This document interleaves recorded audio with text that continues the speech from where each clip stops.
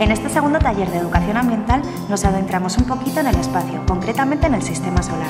A través de cortos de animación y manualidades explicamos las características de los planetas y cada participante pudo llevarse a casa su propio móvil del sistema solar.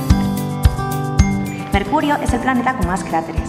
Venus es el más caluroso y gira en sentido contrario a todos los demás. Marte, por ejemplo, tiene dos lunas y la montaña más alta, el Monte Olimpo. Júpiter destaca por ser el planeta de mayor tamaño y por tener una tormenta gigante, que incluso puede verse desde los satélites. Y aunque pensemos que Saturno es el planeta de los anillos, no es el único, porque Urano también los tiene. En Neptuno, ninguno de nosotros podríamos resistirnos a volar, porque el viento sopla tan fuerte que alcanza los 2.000 km por hora. Tierra es el único planeta donde podemos vivir. Desde el espacio, nuestro planeta se ve de colores azul y verde. Azul por el agua, que aunque nuestro planeta se llame la Tierra, está compuesto en un 71% de agua, y verde por los bosques, que depuran el aire que respiramos. Nuestro planeta no está ni muy lejos ni muy cerca del Sol, así que su temperatura media de 15 grados centígrados permite al agua estar en estado líquido.